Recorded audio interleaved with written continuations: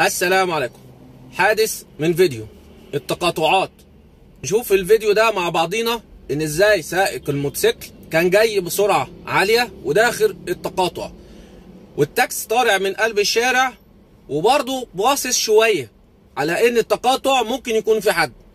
خد بالك إن التصادم اللي حصل أساسا من سائق الموتوسيكل. إن هو ماشي بسرعة كبيرة وفوجئ بالعربية فحصل التصادم. العربية البيضاء اللي طالعة من قلب الشارع هو كان مدرك إن ممكن يكون في خطر ما وما كانش متوقع.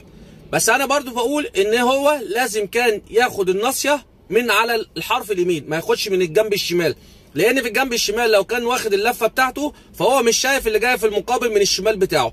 إنما لو هو كان واخد الجنب يمين شوية في مخرج الشارع كان قادر يرصد اللي جاي من الشمال. فما كانش هيحصل التصادم دوت.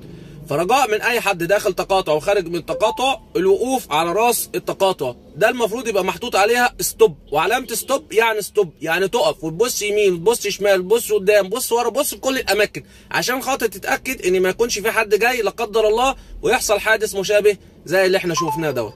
شكرا جزيلا.